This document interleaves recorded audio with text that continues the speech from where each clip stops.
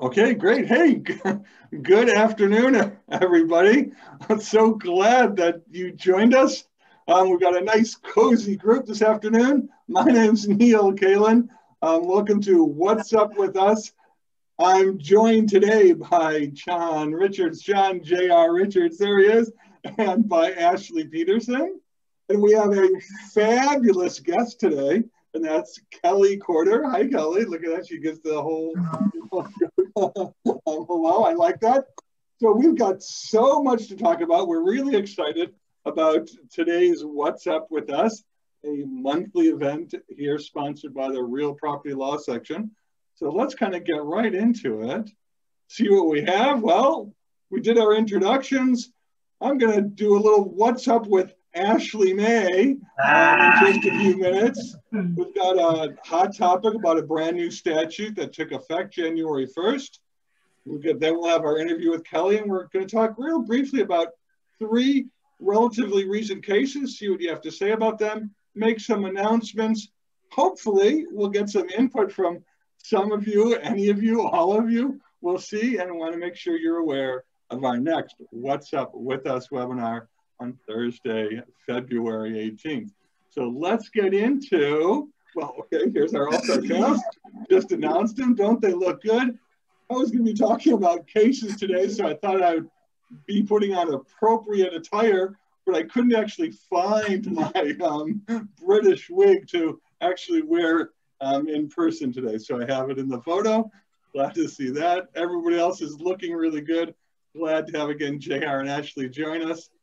And let's see, let's go into what's up with Ashley May. So in a recent What's Up, we learned that Ashley's middle name is May. And that kind of reminded me, Ashley May sort of reminded me of the Beverly Hillbillies and good old Elly May. So I thought, is Ashley more Beverly Hillbilly or Beverly Hills? So let's see, what do you think? So I was trying to think who would epitomize Beverly Hills. so I came up with Eva there with these two, and I thought, you know, yeah. I'm really aging myself. And so, you know, I don't know who's going to be listening to this. Maybe no one is my age. I thought, let's try and do something a little more recent. I said, aha! Was that John Four? Is that who that was, Neil? That's what? that's from like the 80s. It's like the 80s. It's like that's 30 years ago. I realized I'm still aging myself, but I thought, you know, there's Ashley Young single hanging out, you know. But I wanted to do something a little bit more current for what people think of as Beverly Hills today. And what do we have? What do people think of Beverly Hills today? This is what people think of Beverly Hills ah. today, right? And so I thought, which is Ashley more like? Right? Beverly Hillbilly or Beverly Hills. And I have to tell you, I think oh, Ashley is all class all the time. So that's my answer to that. And we'll let the rest of you decide on your oh own. Yeah. Oh my God. I hope JR finds out my middle name um, when he's in charge of one of these programs. Oh my God. Yeah. We're gonna dig into that. We're digging into your whole background, Neil. There we go. There we go. That's what yeah. worries me. That's yeah. what worries me. I might be canceled um soon. We'll, we'll find out. so let's start off before we get to our interview. Let's start off with a couple of hot topics. This is really breaking news yesterday and today. So we just got some announcements. I didn't even have a chance to look any of these things up but I thought I would share this, you know, with our audience. And then if you come across something, you want to look these up yourselves, but a few important things. So the CDC, so that's the federal eviction moratorium that was scheduled to go through January 31st of this year, which coincided with the California eviction moratorium, which also goes through January 31st. Guess what? Been extended by executive order I also saw there was an announcement from the CDC director saying the same thing, that the federal eviction moratorium is going to run through the end of March. Right? Sorry, so Neil, some... a quick question, but we haven't heard anything from the governor's office on the eviction moratorium, whether it's extended, correct?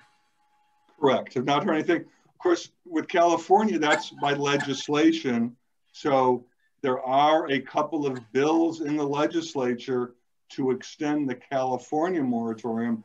One of them will extend the California moratorium through the end of December of this year. You know, who knows what will happen with bills once they start going through the process. But, right, there's not much time, right? There's only 10, 10 days left for California to figure out if they're going to do an extension before the California one expires. But will it matter that much? Probably not, given the federal extension for another two months. So that it's very tricky trying to figure out um, which one is going to apply. When California first came out with it, they said, oh, no, no, the California rule applies, not the federal rule, because the California rule was more protective. And it was in some instances, but it was less protective in other instances. So which one would actually apply is kind of anybody's guess at this point. So kind of consistent with the federal eviction moratorium, FHA, FHFA, which oversees Fannie Mae and Freddie Mac. What have they done? They extended the moratorium on single family foreclosures, right? And on evictions for those who have not been able to make their payments. That one only went through, or only goes through February of this year. My guess is that's probably going to be made consistent with the other one as well. And you see the bottom two items there, the U.S. Department of Agriculture. Well, you don't see a lot of these type of loans, USDA loans in the cities, but out in the more rural areas, you could see a lot of USDA loans. What are they doing? They're extending their eviction and foreclosure moratorium again through March, through the end of March of this year. And just announced just this morning, FHA, the Federal Housing Administration, just just put out today a mortgagee letter. I've got the number there for you, those who want to look it up. And what are they doing? They're doing the same thing. They're announcing a moratorium on foreclosures and evictions again through March 31st of this year. So interesting stuff. If you're following this stuff, you may want to try to get the underlying sources. I didn't have time to get those for you this morning, but I wanted to make sure you are aware of what's going on in the real property world. So here's our regular hot topic. Wanted to mention something not directly real estate related, but affects all employers and employees in the state of California.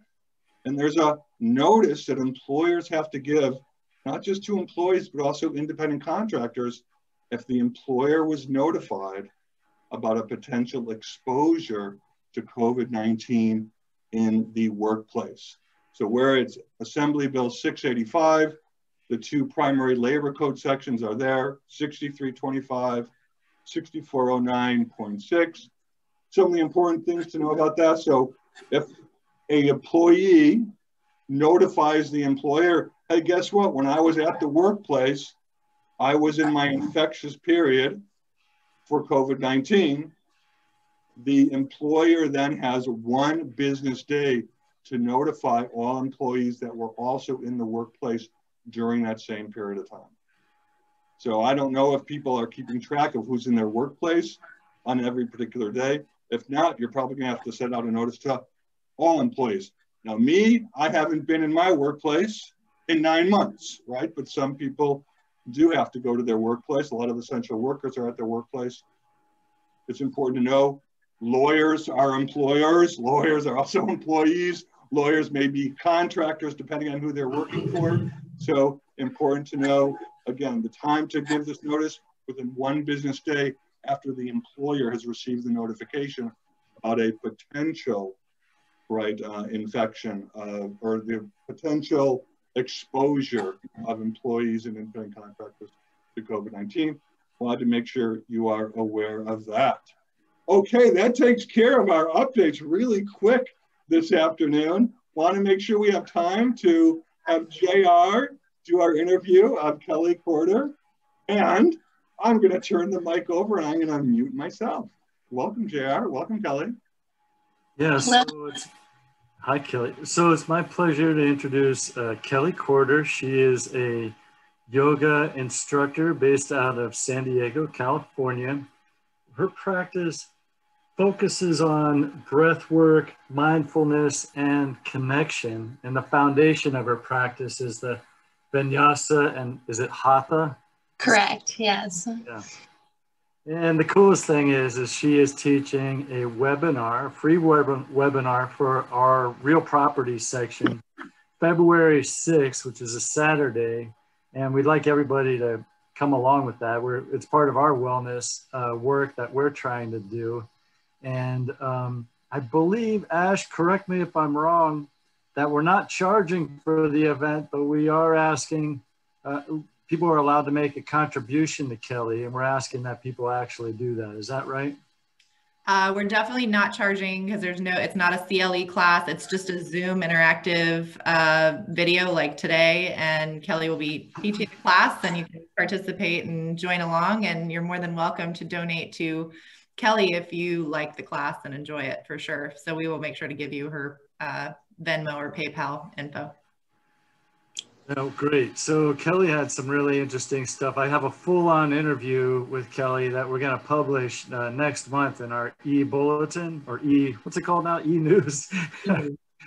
but she said some really interesting thing about monetizing yoga and how that's not actually part of the true practice of yoga, which I thought were, you just had so many wonderful things to share there, Kelli. I hope, uh, I'm, I'm looking forward to publishing that article. But so yeah. one of the things, um, you're, you're available really all over the web. If you just Google your name, I mean, I saw it on Facebook, Instagram. Yes, you can find. Your, tell me about your online presence and where you are and what you're. Absolutely. Yeah. Thanks so much for having me. I am from a, a, practice of yoga called Vinyasa and Hatha. And in my teacher training, we were almost taught to build walls with our students and not interact. Um, in a social media presence, if you will. Um, and this pandemic obviously has broken a lot of walls down.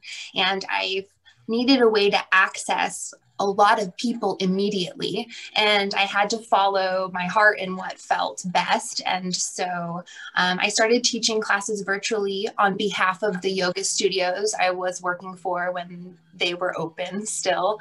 And from there i have started to sprinkle yoga in every aspect of my life whether it's sitting here in a zoom call and making a call to mindfulness for us to sit tall lean back take a breath, or if it is in a physical yoga class, an exercise and yoga class. Yeah. Cool. So, um, if I wanted to find you for a live class, where would I go? Would it be? Sure. So if you live anywhere in the world, then the best way to reach me would be on Instagram. And okay. there I have live classes where you can interact while the class is live and okay. you can catch the class anytime thereafter and save it. So if you like a class, you can take the same one every day if you love it. And uh, then YouTube is definitely the e- I find to be the easiest interface because it has the classes organized by style and type so that once you find your niche or what works for you, then you have a um, something already curated for you on the platform. And it, they're both free. So one of the things I think you were talking about how, I mean, a lot of us associate yoga with a type of exercise or stretching or uh, certainly breath work, right? But you were you were talking a little bit about how there's more to yoga than that even. If, if we look at it that's just a percentage of what yoga really stands for. Is that right? Yes, I do think that to understand an Eastern philosophy and concept, we do have to relate it to Western concepts to help us understand how grand and expansive it is, and that yoga is a lifestyle and not just this exercise performed on a mat, for lack of a better word. And yoga is this giant tree with eight branches, and the physical performance on the mat, which we will be doing with one another in February, is one eighth of the practice of yoga in scope. Um, whether it It, it, it truly is. But it's yeah. it's science, philosophy, breath work. Uh, there's so much more to it. So I think everyone needs to um, remember that there are so many kinds of yoga that might serve you better than just the acrobatics you might see through social media on a mat because that's got to go. Well, along those lines, okay, like what kind of advice would you give to a beginner like myself who really I'm not really that limber and I'm not I'm not acrobatic for for you know I mean mm-hmm. you, what kind of advice would you give to me if I wanted to start practice today online you know that kind of thing what what, what kind of would you give me I would definitely remind yogis to keep their courage with them because it can feel intimidating getting to know something new and getting to know your body as well at the same time. And it takes great courage to filter out the things that you aren't going to participate in as much as the things that you do. And when we take a fitness class, uh, we often do exactly what we're told without thinking, and that has its benefits. It certainly does. But when you're practicing yoga, it's like your teacher is giving you a menu of 10 foods that you can have for dinner, and you don't have to eat all of them and you don't have to clear your plate. So, if you choose to sit there in observation, or if you are in pain and you um, aren't looking to participate physically the entire class, that does take great courage to omit what might not feel right or to try something new. So I always try to remind people to um, to not push themselves too hard and that it's great to skip things. Not every cue is for you. So.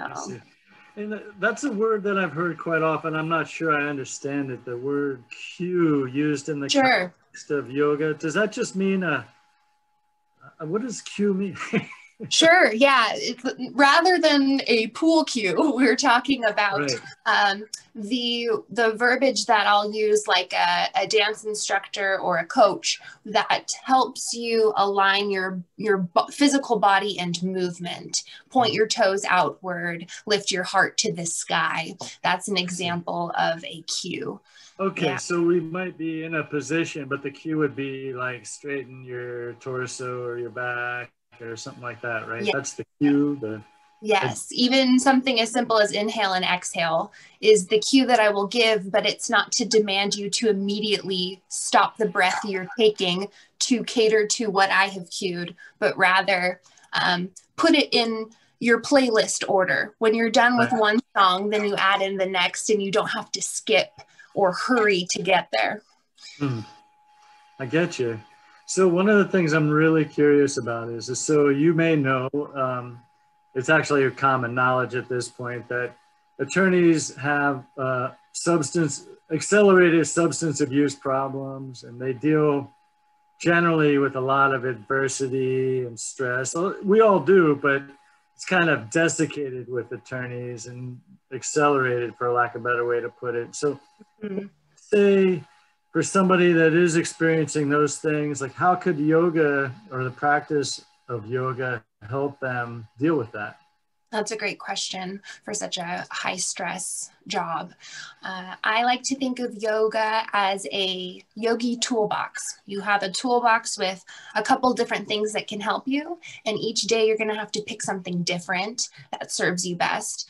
And so, uh, it's a. I guess I'll give you two parts to that answer. One is that um, that yoga can be a great substitution as an, an activity that gives you an immediate benefit to add to your life um, when you are looking to have a completely different change of pace. It's always available for you. And then there's also the realistic side of yoga where if you're facing an addiction issue to to be kind with yourself and perhaps incentivize yourself with I am allowed to X, Y, and Z if I have meditated for 10 minutes, if I have practiced yoga for 30 minutes. And if you give yourself this discipline, it might give you a bit more freedom and control in whatever addiction you might be going through. So. Well, like one of the things that's helped me, and again, I'm not really good at yoga. I'm not going to pretend like I know what I'm doing, but it has like I'm, so much of what I do is goal oriented. Like I need to get to this point and everything like that. And the the a lot of the focus in yoga for me at least has been accepting you know what what my body can do that day or what I can do that day and mm-hmm. very freeing in that regard. I mean, is that part of kind of what you would encourage people to do? Yes, I definitely know how challenging it is to turn off the goal orientation when you are in your yogic practice because it's not mimicking your time off of the mat. You have a great state of awareness on the mat, and then there might be some incongruencies off of the mat. But the perseverance that we talk about, both in yoga and in your line of work, is that there's this steadfastness about you. Um, despite there being a delay in your success. So even if you know that you're not going to reach the goal, you're still just as determined to stick to it despite the defeats you might feel. And that practice will uh, rejuvenate you because no one has regretted going to yoga. I have never met a person in my entire life who has uh, not benefited from the practice. So I have to remind myself, like, you do this for a reason. You'll feel 10 times better and much more well equipped to handle the problem you have after you have yogaed first, then tackle.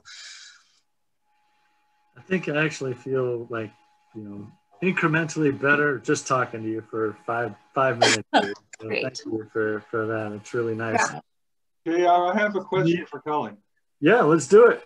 So I've never done yoga. I've never been to a yoga class. I don't know anything about it other than what you just said for the last, you know, seven minutes. Sure.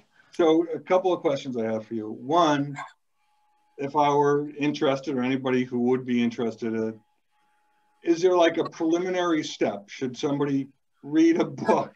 Should somebody watch a class? Should somebody just go to a class? So that's one question. And then the second question is, I don't know. Is is it like is it like dance? Are there beginner, intermediate, advanced classes, or or am I going to show up to something and people are you know putting their legs behind their heads, you know, and you know bending all over? I'm like, what am I going to do here? I could barely you know bend over and touch my toes. I don't know, you know, what would be appropriate for somebody who hasn't experienced yoga.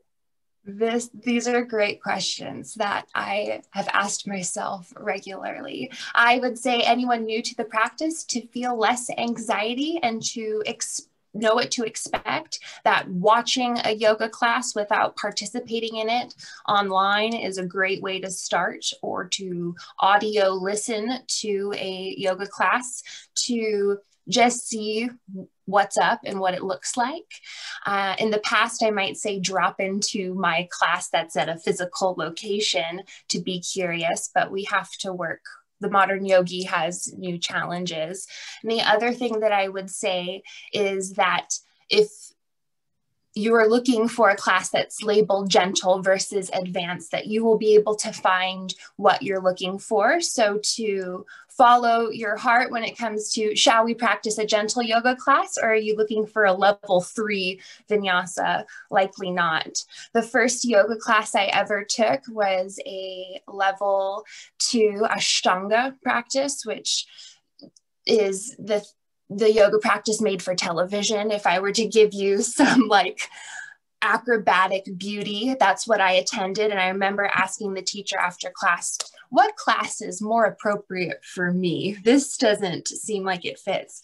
And she told me I was right where I needed to be. Mm-hmm. And I didn't understand it for five or six years. And I just kept going to class because I was so curious. Uh, so I would say just an open mind. And if you're anxious, then give it a peek virtually first to ease the unknown.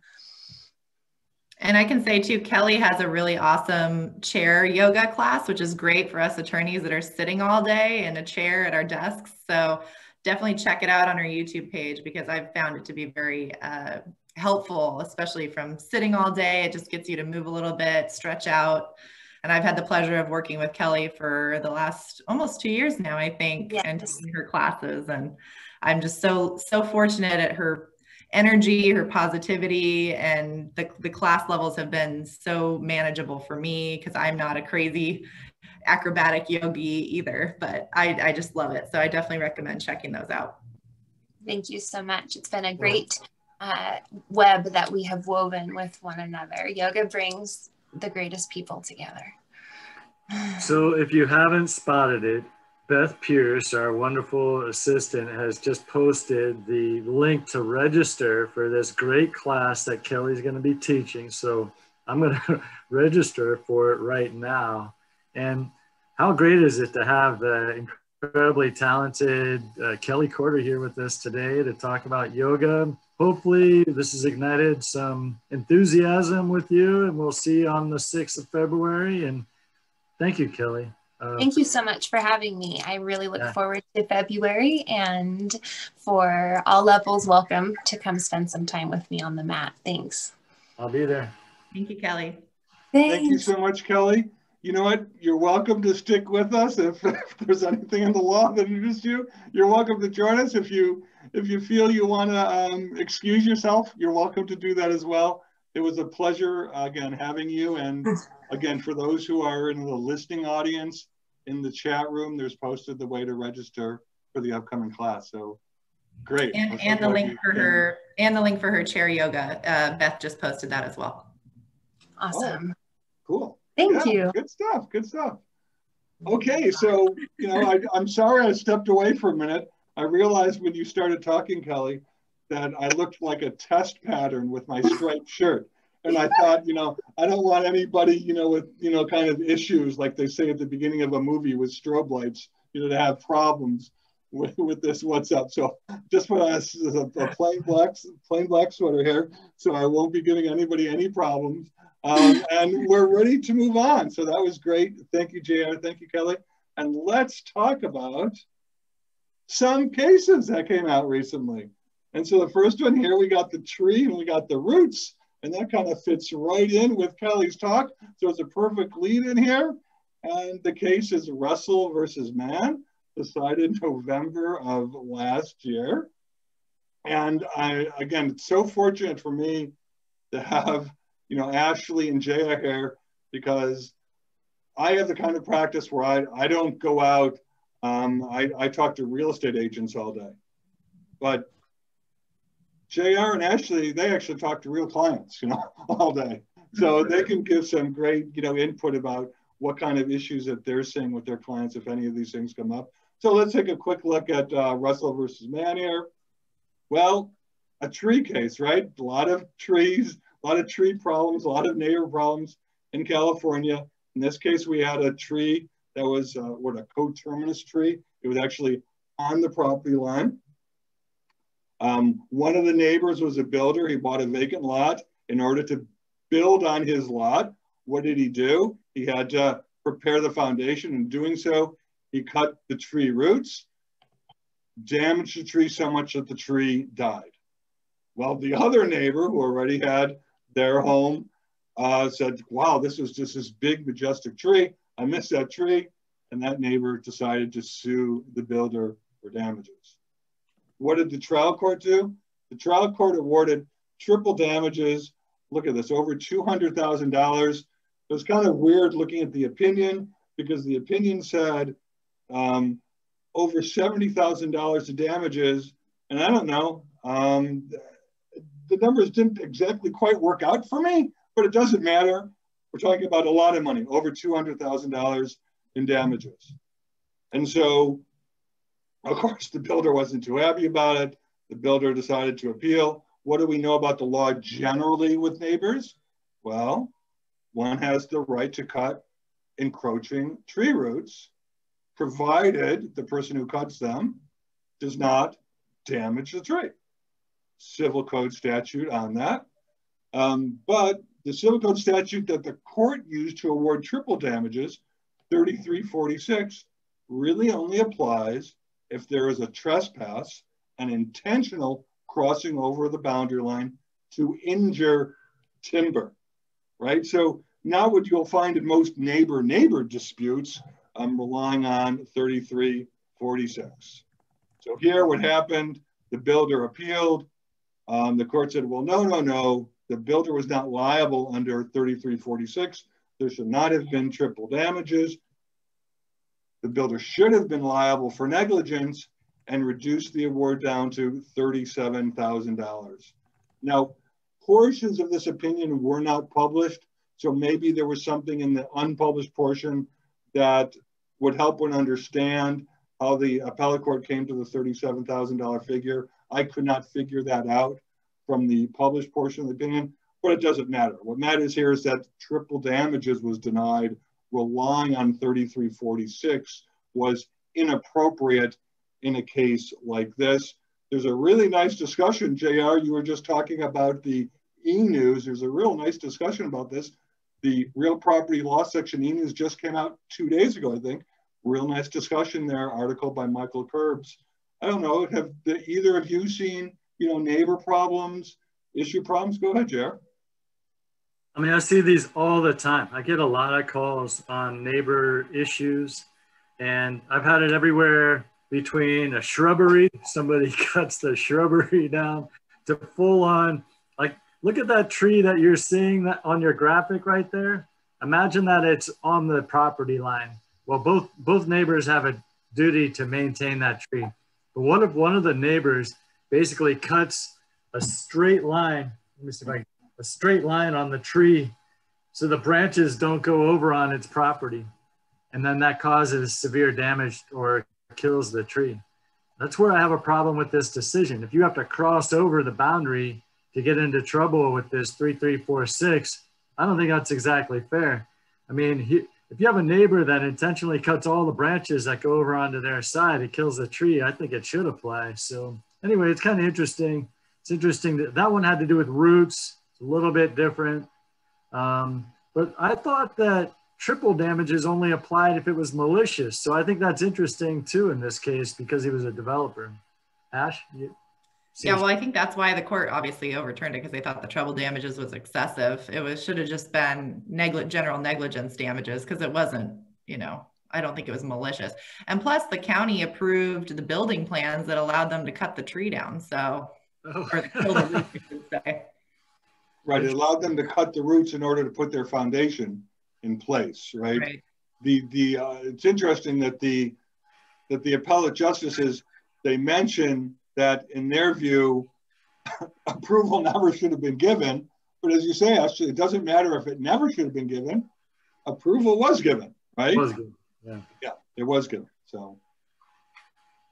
yeah, I, in my in what I do when I talk to real estate licensees, we hear a lot about you say not so much about the roots. We hear a lot about people wanting to cut branches. A lot yep. of times branches are hanging over.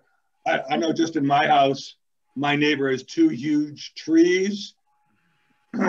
of course, the way things always work out, my neighbor is to the north of me. The wind is always from the north. My pool is constantly filled up with my neighbor's leaves. I I've cut back to to our fence line a couple of times.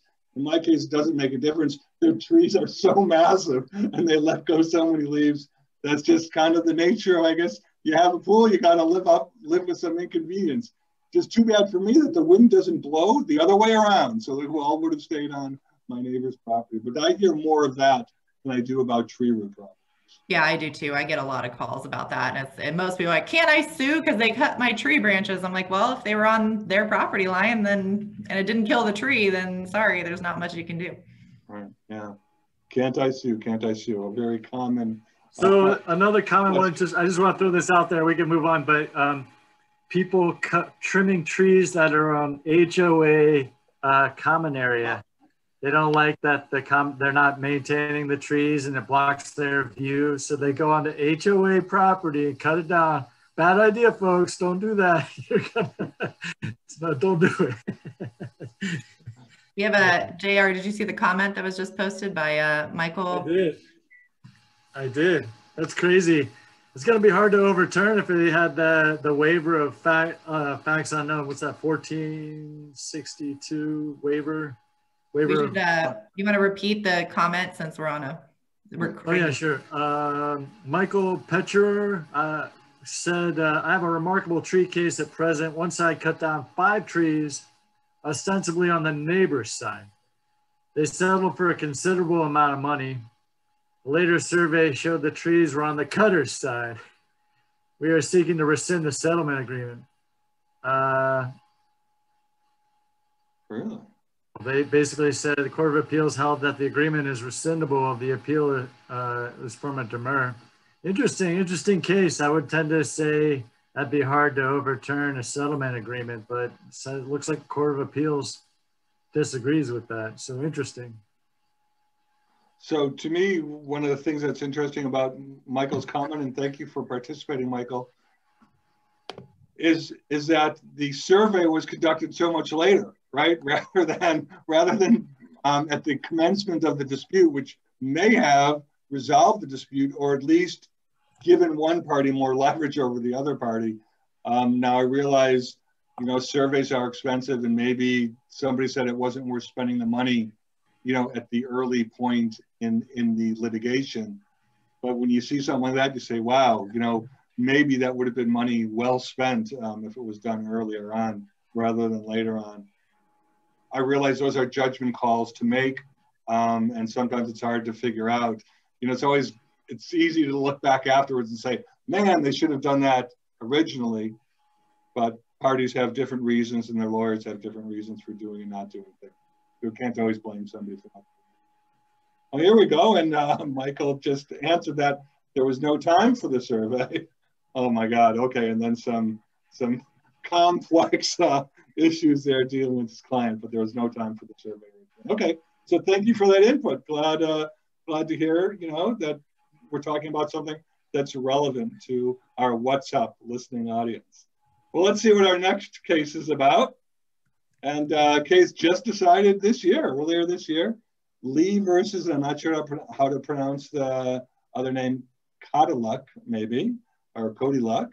And here was what's happened in this case. So um, on June 4th, and I can't remember the year, but an owner of the property named Haynes files a three-day notice to cure against uh, against the tenant, Kotyluk. Um, what was the Kotyluk doing? Well, he had a he was renting the property.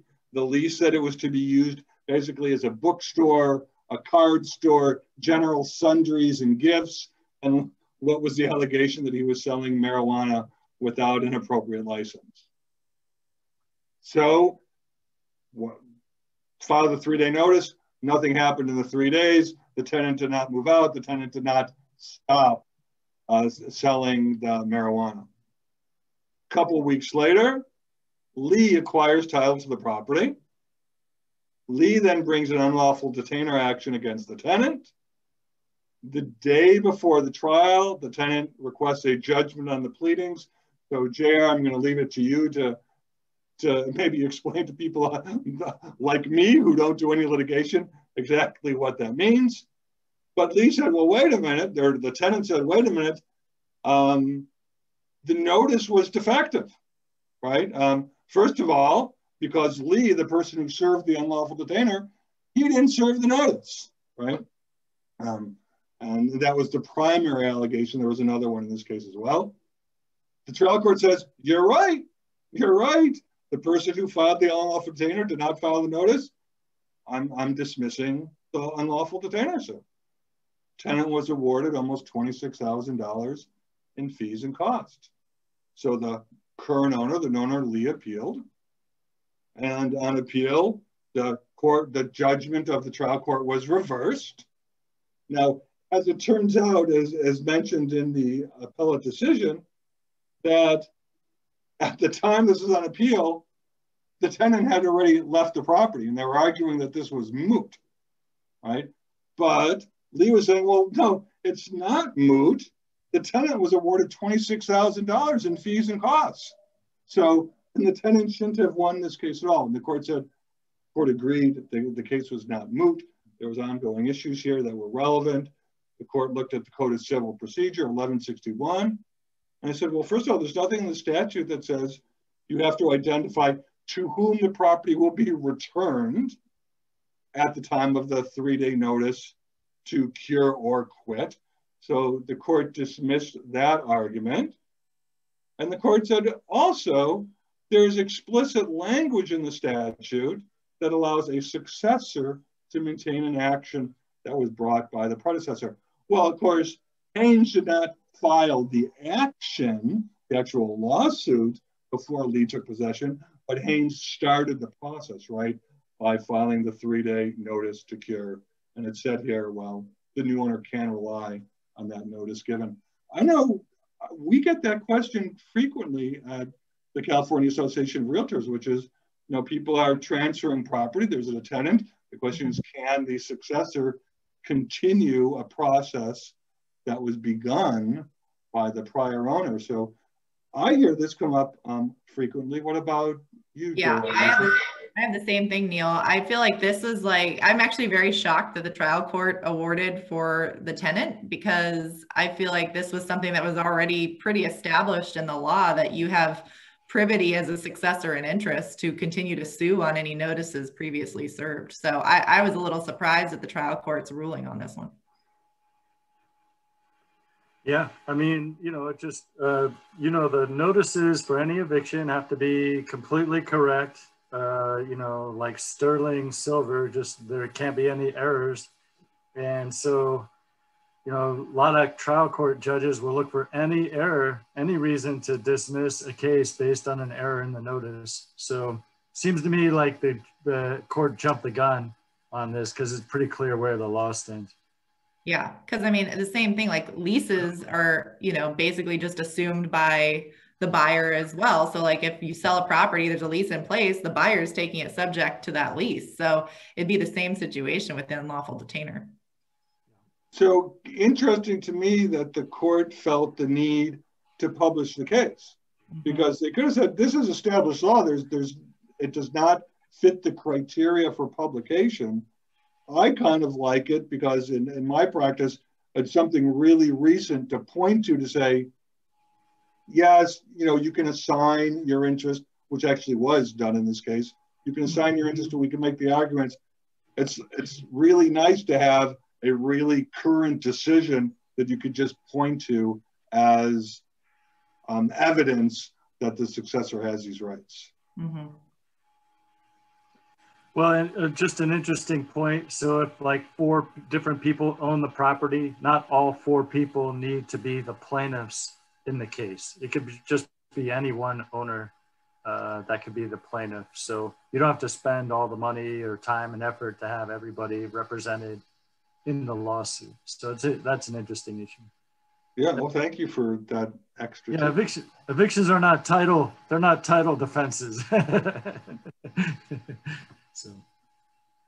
All right, well, let's go on to our, our third case, which I don't have something to really um, show you, but I, I wanted to, I mean, this really is current. It's the Apartment Association of Los Angeles County, also known as the Apartment Association of Greater Los Angeles, AAGLA, versus the City of Los Angeles.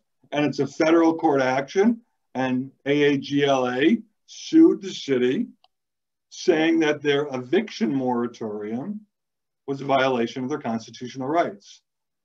Uh, the suit was brought in federal district court. Uh, the, the apartment association uh, tried to receive a preliminary injunction for continued enforcement, to stop continued enforcement by the city.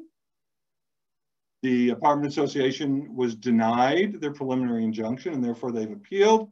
It's now before the Ninth Circuit Court of Appeal. The opening briefs have been filed. The reply, the um, answering briefs has been filed. I think there's still two weeks left for any reply briefs that might be filed. On the docket, at least as of two days ago, there was no timetable set for this case to be heard.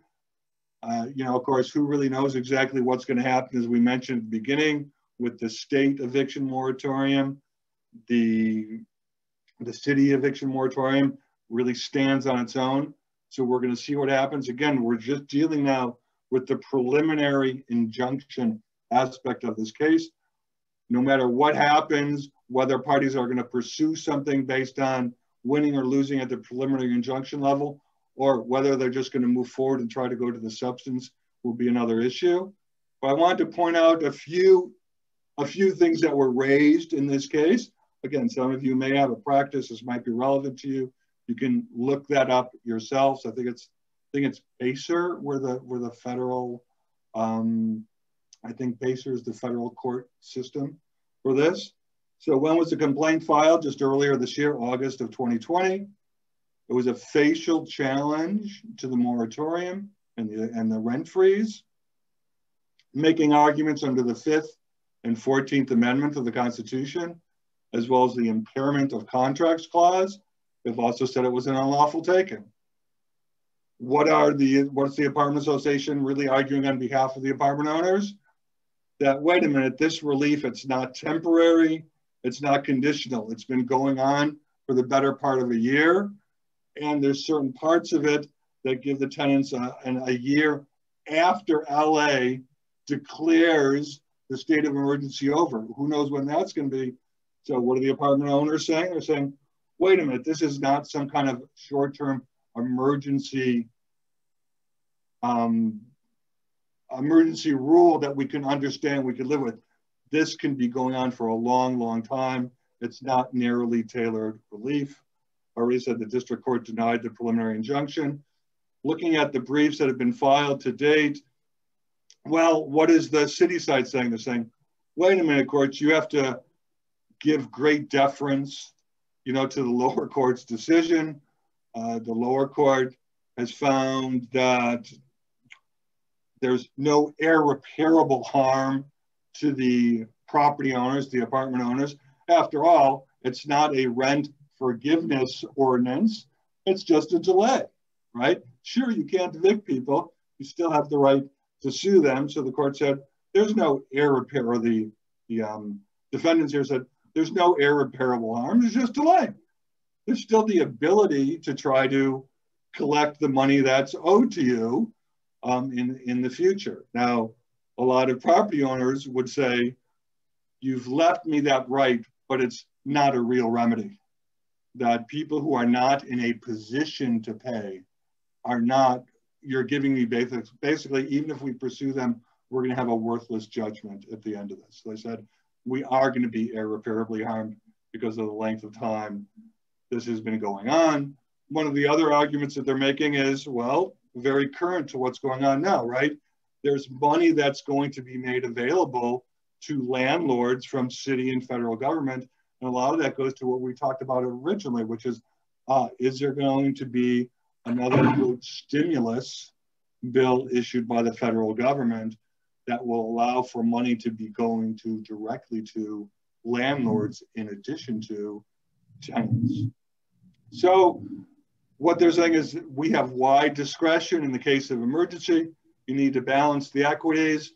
Since this is a preliminary injunction, apartment owners, you've got no likelihood of success on the merits. Therefore, the denial of the preliminary injunction was appropriate. So again, something still going on. Um, a hearing date at the appellate level for the denial of the preliminary injunction has not yet been set, at least as of a couple of days ago. I don't know, Ashley, JR, anything you want to add about this?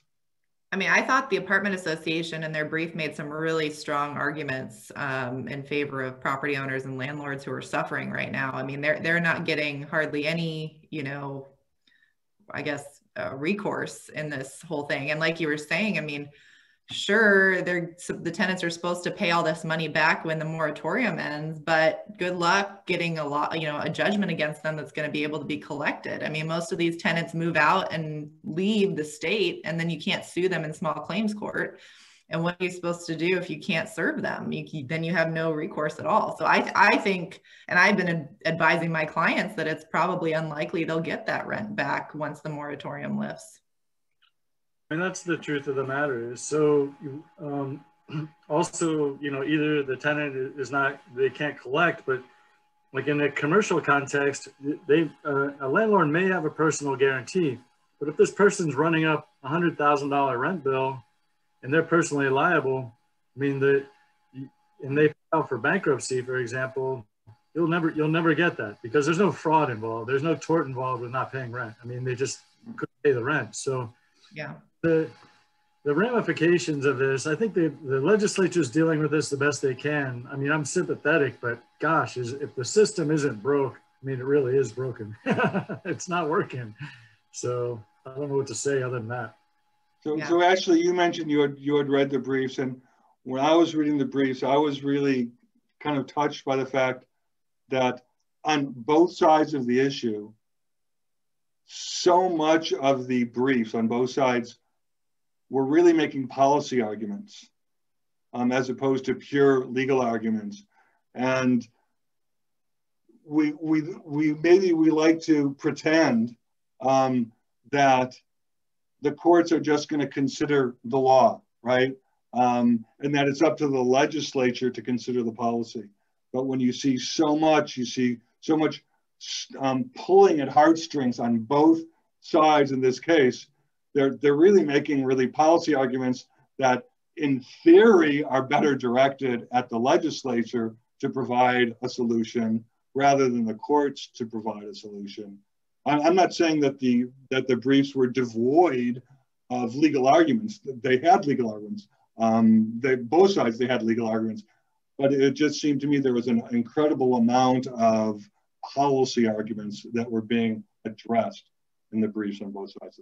Well, and I think it really comes down to two is the question of, you know, how much power do these mayors have, you know, with regards to these temporary emergency orders? I mean, are they going beyond their scope of, of their limited powers with these temporary orders, which are supposed to be temporary, like you said, and now these are lasting a year, two years, whatnot? So is it is it an encroachment in that, you know, overarching powers here or what? I don't I don't know. That's just I think that's one of the questions to be considered in all this though.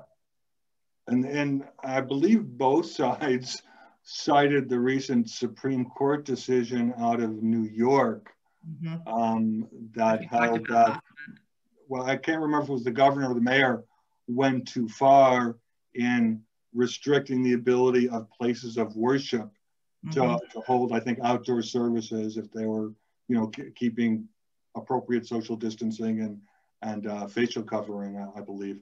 Um. So they both were relying on that, and we'll see, you know, if if the um, Ninth Circuit, you know, you picks up on that either by distinguishing it, because one would say, well, wait a minute, owning rental property is not protected protected, you know, in the Constitution under the Bill of Rights, right?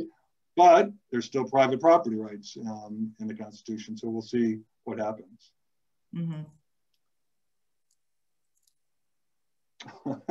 okay, so I see. So thank you, Franz, for listening. And you, you raised a good point that I think the courts are going to have to address here, which is what does temporary mean, right? And, and Ashley just raised that, which is, you know, is temporary a month? It's going on at least nine months, and there's the potential for a lot of this to go on through at least mid-year next year, if not through the end of next year and then beyond. So we'll have to see, you know, so, when is an end?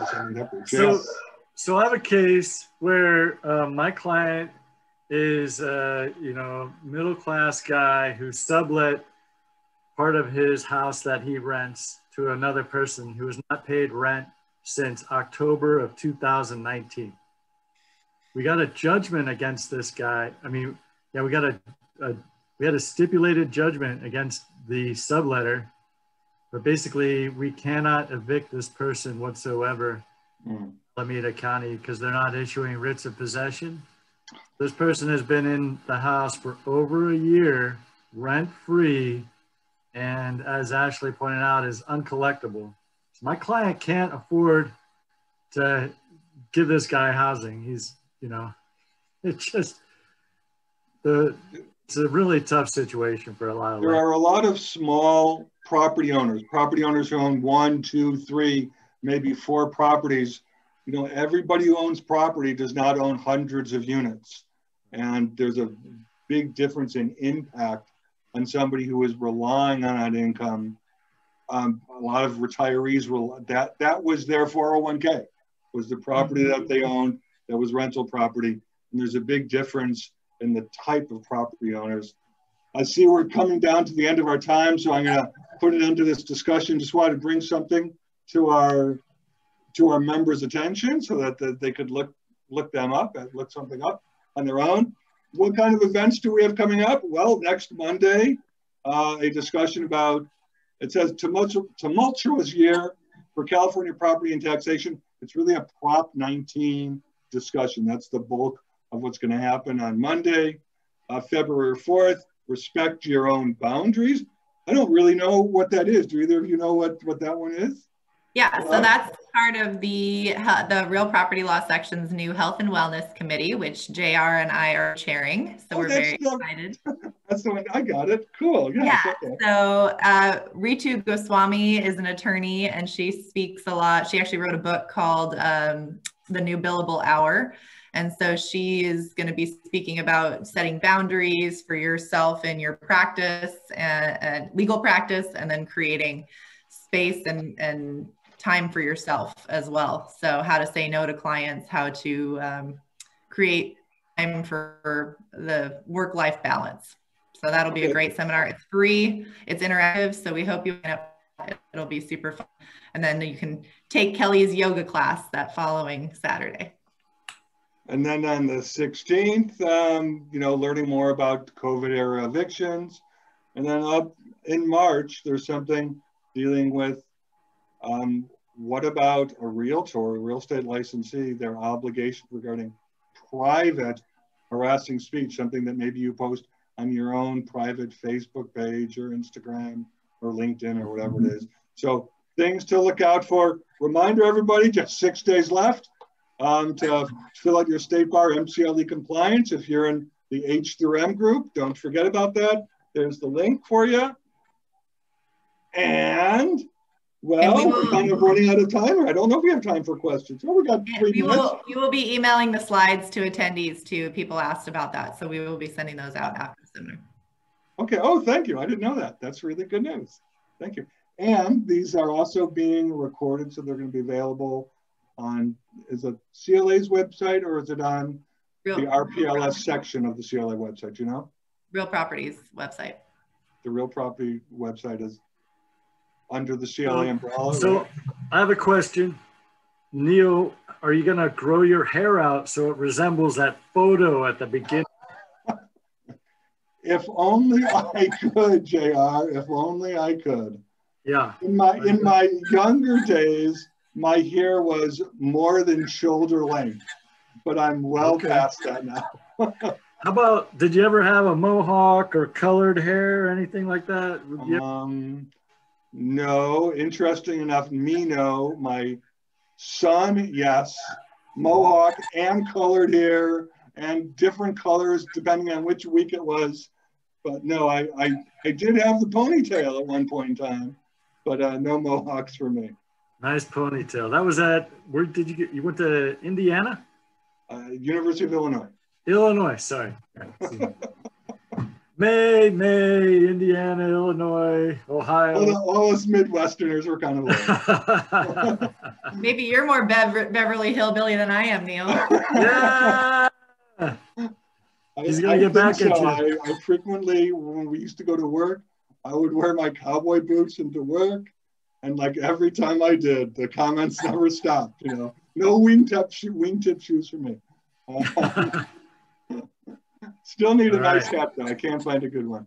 Anyway, we're at, we're at the end. Thank you for joining us today. If you learned something, if you liked today's event, tell your friends, have them come join us next month, Thursday the 18th at 12:30. Be there or be square. Thank you, everybody. Goodbye. See you. Bye.